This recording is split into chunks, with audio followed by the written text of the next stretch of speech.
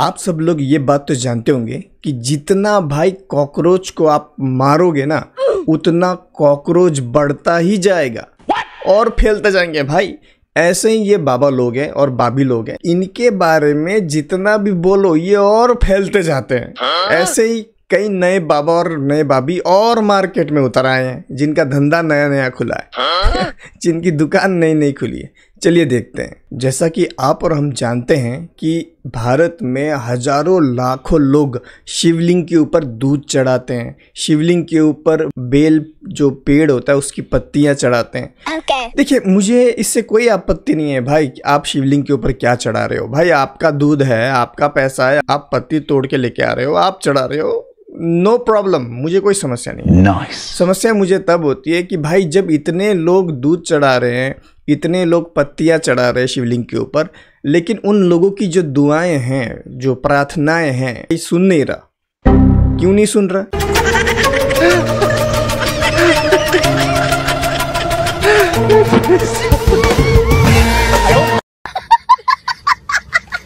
एक बार क्या हुआ कि एक स्त्री बहुत परेशान थी अपने पति से। क्यों? क्योंकि भाई उसका पति बहुत दारू वारू ये सब नशा वशा करता था दारू ज़्यादा पीता था। Uh-oh. तो वो वो स्त्री जो है वो स्त्री चली गई एक माता के पास कि माता जी मेरा जो पति है वो बहुत ज़्यादा दारू पीता है। और एक्चुअली उस स्त्री ने क्या किया था अपना जो पति का दारू का बोतल वो लेके आई थी कि भाई मेरा पति देखिए बहुत दारू पीता है। तो मैं क्या करूँ? मैं क्या करूँ? मैं बहुत परेशान हूँ अपने जीवन से। तो वो माता ने कहा कि आपको पता है शराब से हमारे भारत में कितनी माताएँ कितनी स्त्रियाँ परेशान हैं। सही बात बोली। मेरी तमन्ना दो। और जो माताएँ पीती हैं उनको आप उपाय बताइए। प्यासी है ज़िंदगी। और मुझे प्यार दो। और मुझे प्यार दो।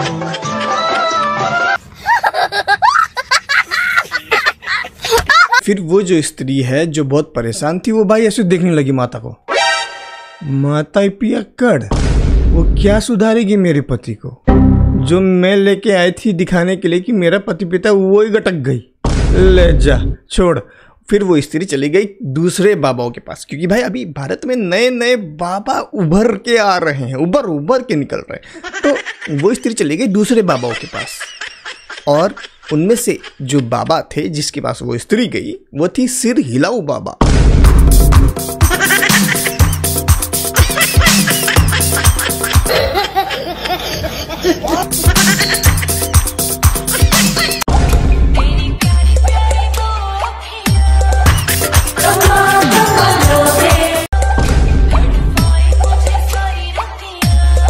उस स्त्री ने सोचा, ये लोग तो बिना पिए ऐसी हरकतें कर रहे हैं। तो भाई, मेरा पति बिना अगर दारू छोड़ भी देगा तो बिना पिए ये ऐसी हरकतें करेगा तो घर में भाई शांति कहाँ रहेगी? तो वो स्त्री भाई चली गई दूसरी माता के पास। और वो जो माता थी, उन माता का नाम था नीम माता। वो पाखंडी दुनिया कहो जी कैसे तेरिया हो पाखंड। उस स्त्री ने सोचा इस माता के पास अगर मैं अपने पति को लेके गई तो भाई ये रोज भाई नीम की पत्तियाँ खाने को कहेगी। छोड़ दो भाई मैं किसी दूसरे बाबा के पास जाती हूँ और वो चली गई बागेश्वर बाबा के पास में। और गुरुदेव हाँ। आपकी उम्र हमें लग जाए। एक मिनट क्या चाहते हो? हमारी उम्र तुम्हें लग जाए। हो गुरु जी क्या बनो ही रहे जब हमारी उम्र खींच ले हो। देने ही पड़ेगा बचो ही का है अब। और देखा कि बागेश्वर बाबा ऐसी हरकतें कर रहा है। मैं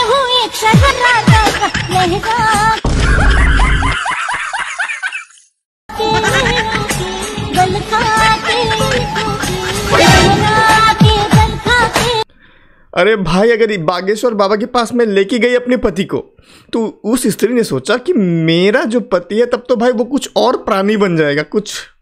क्या बताऊँ, समझ जाओ। नहीं भाई। और वो चली गई फिर किसी और के पास। जैसा कि आप और हम जानते हैं कि आजकल जो बाबा लोग हैं, वो होलसेल में मिल रहे भाई गली गली नुक्कड़ नुक्कड़ में आपको 10-15 बाबा तो ऐसे पड़े हुए मिल जाएँगे। ऐसे ही उस स्त्री को जो बहुत परेशान थी अपने पति से, उसको एक बाबा, बच्चा बाबा मिला, बच्चा बाबा।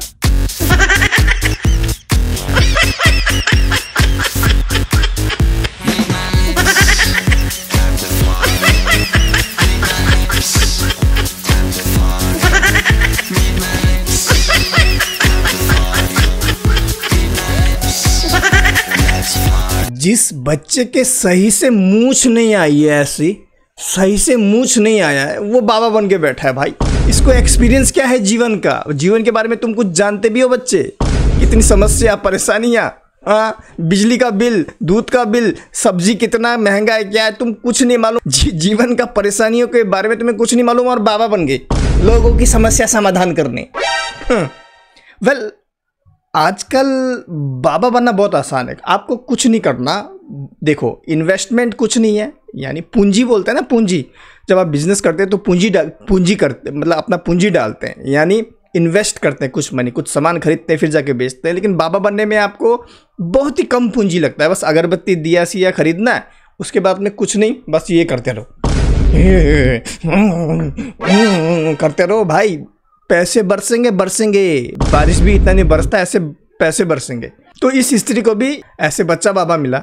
तो वो स्त्री जो अपने पति से परेशान थी, उसने सोचा कि भाई ये बच्चा जिसकी मूछ भी सही से नहीं उगी है अब भाई वो जीवन के बारे में कुछ नहीं जानता, अभी तो जन्मा है भाई, कल ही तो जन्मा ही है ये। ये क्या जानता है जीवन की समस्याओं के बारे में? और क्या ये दूसरे लोगों की समस्या समाधान करेगा जो खुद समस्याओं के बारे में नहीं जानता? तो वो स्त्री चलते चलते गई, उसको रास्ते में मिला करंट वाले बाबा। एक नए बाबा और आ गए। मैंने तो ऐसे ही बोल दिया था एक दिन एक वीडियो में, करंट वाले बाबा। लेकिन सच में करंट वाला बाबा आ गया है। आप खुद देख लो जो पूरा शरीर में भाई लाइट वाइट जला के रखता है करंट वाले बाबा। तो ये है नए मार्केट में आए सब करंट वाले बाबा। हिला लेते हुए भक्तों को ऐसा शॉट देते कहते जैंट में कि उनके परेशानियाँ पूरे एक झटके में खत्म हो जाना। और इन्हें अपने आप को नाम दिया करंट वाले बाबा कहते, देखे तो कांचना का छोटा भाई दिख रहा। बेरोजगारी दूर करने का ये आखिरी ऑप्शन रहता समझो अनभक्तों के पास। और उन लोगों को बखूबी मालूम है कि ये ऑप्शन में कभी भी ये लोग फेल नहीं होंगे। वो जो स्त्री थी जो अपने पति से परेशान थी तो उसने सोचा भाई ये इस बाबा के पास जाएँगे भाई करंट वरंट लगा देगा क्या हो जाएगा? छोड़ो भाई मैं दूसरे बाबा के पास जाती हूँ। तो वो जाती है। वेल well, कभी आपने खो खो खेला है? खो खो में क्या होता है कि भाई यहाँ से दौड़ के आते हैं वहाँ से तेरी बारी फिर वो भागता है। तो बिल्कुल यहाँ वही सीन है। सब नाटकबाजी चल रहा है यहाँ पर। देखिए कैसी ये स्त्री बोल रही है तेरी बारी तू चिल्ला तू चिल्ला मैं थक गई चिल्ला चिल्ला के। और ये चिल्लाना स्टार्ट करता है। ये ले, अब तो चिल्ला। मैं थक गई चिल्ला चिल्ला के। तूने भी पैसे लिए हैं। मैं थक गई हूँ। तेरी बारी।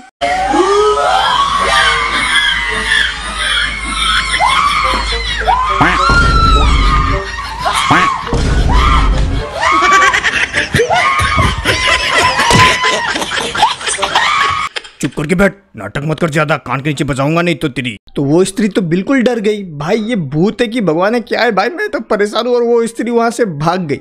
और भागते भागते वो जाके पहुँच गई बागेश्वर बाबा के थर्ड क्लास कॉपी के पास। ए, वो देख वो देख वो देख वो देख। खुद की तबीयत ठीक होगी वह जखन बनती आशीर्वाद। परेशान ना हो चिंतित। ना हो आशीर्वाद कृपा पूर्ण रूप से आराम लग जाएगा आशीर्वाद। ये करते गद्दारी करते बढ़िया था गुरु।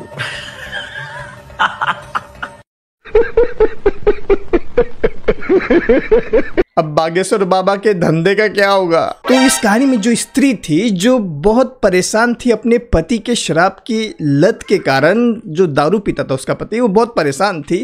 भाई वो दिन भर घूमते घूमते उसे भाई बहुत ही ज़्यादा भूख लगी और उसने रास्ते में देखा कि ये व्यक्ति कुछ बेच रहा है ये मोमो बेच रहा है भाई ये व्यक्ति।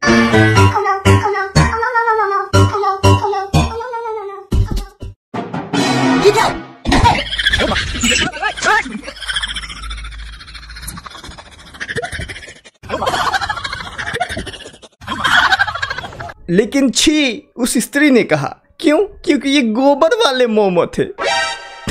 लेकिन इस व्यक्ति ने धोखे से उस स्त्री को एक मोमो खिला दिया था, जिस वजह से उसको बहुत हिचकी आने लगी और उसकी हिचकी रुक ही नहीं रही थी। और एक व्यक्ति ने उस स्त्री से कहा कि पास में एक स्त्री है, यहाँ से थोड़ा सा दूर, ज़्यादा दूर नहीं, पास में, वो एक माता है। हिचकी वाली माता। आप उनके पास चले जाइए, आपकी हिचकी ठीक हो जाएगी।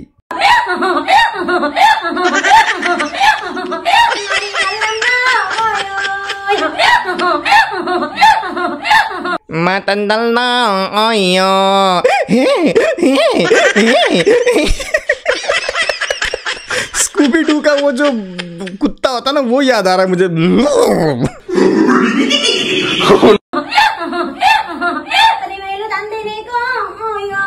पहले मैं की तंदनिया का आया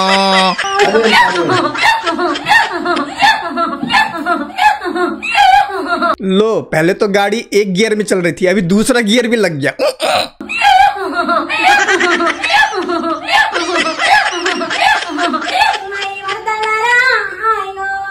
मारा मार तल्ला मा आया। तो उस स्त्री ने सोचा भाई ये माता खुद हिचकी ले रही है, ये क्या मेरी हिचकी ठीक करेगी? लेकिन थोड़ी देर बाद जैसे तैसे वो जो स्त्री थी, उसकी हिचकी ठीक हो गई। जो कि बहुत परेशान थी अपने पति के दारू पीने की लत से। लेकिन फिर उस स्त्री को अभी भी वो बहुत हताश, निराश, परेशान थी और उसे काफ़ी भूख लग रही थी। तो उस स्त्री ने क्या किया कि देखा कि भाई एक बाबा है, उस बाबा का होटल है। उस वो होटल में चलो भाई, बाबा का होटल है भाई, हिंदू बाबा का तो ऑब्वियसली वहाँ वेजिटेरियन डिश मिलेगा।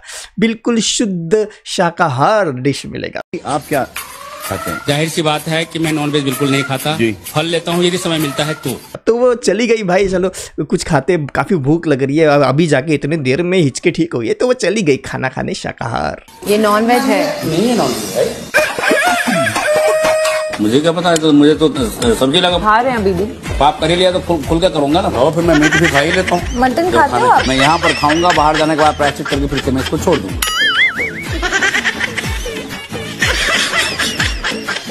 गुरु जी दो पीस वापस डालो। मैं नहीं दूँगा। मैं कह रहा हूँ गुरु जी नहीं दूँगा। हाथ ऐसे हो रहे हैं और मेरा खाना छीन लिया। ब्यूटीफुल बाबा जी। बाबा जी। दवाइयाँ भी चल रही हैं। मेडिकल स्टोर बना हुआ है पेट में। खाना मुर्गा ही है बाबा जी आई लव तो उस स्त्री ने देखा कि भाई ये तो सब के सब ढोंगी हैं और अंत में जाके वो हिंदू स्त्री क्या बन गई? क्या बन गई? आप लोग खुद बताओ, क्या बन गई? नास्तिक बन गई। और ऐसे कई बार होता है। हालाँकि ये कहानी काल्पनिक है, लेकिन ये सत्य है कि इन सब बाबाओं की वजह से ही काफ़ी हिंदू लोग नास्तिक बन जाते हैं भाई। और वो स्त्री नास्तिक बन गई अंत में। लेकिन अभी भी उस स्त्री को, अगर कोई ऐसी स्त्री है कोई भी ऐसा आदमी है जो अभी भी सत्य परमेश्वर को ढूंढना चाहता है। मैं उनसे रिक्वेस्ट करता हूँ बाइबल पढ़िए, क्योंकि बाइबल का परमेश्वर ही एकमात्र सत्य परमेश्वर है। अगर आपको विश्वास नहीं तो ऐतिहासिक प्रमाण, ऐतिहासिक हिस्टोरिकल एविडेंस चेक कीजिए। चेक कीजिए, यीशु मसीह का प्रमाण है कि वो सत्य परमेश्वर है। और बाइबल ऐसे किसी ओंगा पोंगा आदमी ने नहीं लिखा है। बाइबल लिखने वाले लोग आँखों देखा आई विटनेस थे, चश्मदीद गवाहों ने लिखा। सत्य परमेश्वर को पहचानिए इतना कहते हुए, आज का ये वीडियो इधर रखते हैं। मिलते हैं अगले वीडियो में। प्रभु मसीह आप सबको आशीष दे। यदि आप हमें इस सेवा काई में, लोगों की आँखें खोलने में मदद करना चाहते हैं तो स्क्रीन पे दिए गए नंबर पर ज़रूर सपोर्ट कीजिएगा। मिलते अगले वीडियो में। तब तक के लिए छह मसीह की।